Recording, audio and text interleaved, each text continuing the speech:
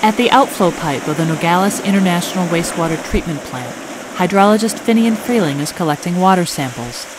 The samples will be tested for the presence and concentration of organic pollutants called emerging contaminants. Emerging contaminants are pollutants that have not traditionally been tested for during water quality sampling. Because of this, they may not be adequately cleansed by current wastewater treatment methods.